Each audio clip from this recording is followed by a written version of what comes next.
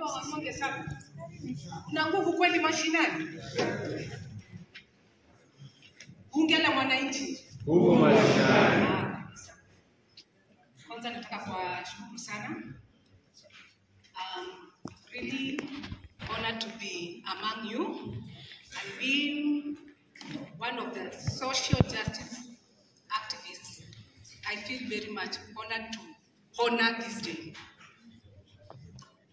Question that I have to all of us, because we are all, I, I believe 80% of us, social justice warriors. What are we doing to implement all these things that have been said today? Tunaweza chambua katiba siku mbili tatu wiki nzima. Are we really doing what is necessary? Are we going forward? What are we really doing as an individual? When we go to those public participations, I believe I've met a number of people, been with them at the public participations. We talk at the backside. When it's brought at the table, is it implemented? Is it brought what we were discussing? Do you oppose or what you do?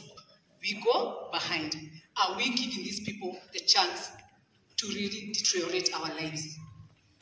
Let us wake up and say, enough is enough. Let us be our brothers and sisters keepers. I believe when you have the audacity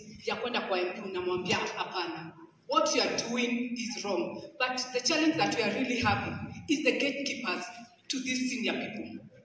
How do we remove these gatekeepers? We have to work about that. We have to really know if I want to go see my senator, do I really have to give something? Do we have to have a, a, a, an appointment of three weeks? And then the next day, when I get to the uh, senator's office, I'm told I've been given two minutes. The senator is busy. What are we really doing? We have to have the courage to say enough is enough. And if you are a representative of the social justice, be fair to yourself and to the whole entire country. I think I don't want to talk much. I may take a whole afternoon. Thank you so much. Oh.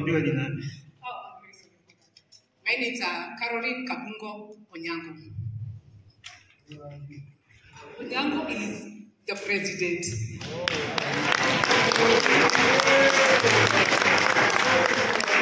Asante. Ningependa hii fursa pia niseme nialike pia bwana spika atuambie maneno mbili tatu eh, na tuendelee. Bwana spika. Thank you, DP. Sasa tumejua. Okay, good afternoon, everybody.